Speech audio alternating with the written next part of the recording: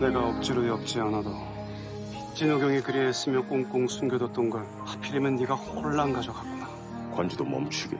저를 멈추게 하고 싶으시면 장욱에게 가서 모든 것을 말해 보십시오. 마지막에 조용히 정리하기 위해 돌아온 거야. 울것 같소. 심장을 뜯어내어 마음을 부순다. 이 정도 거리에서 계속 네 옆에 있을 거야. 약속이다.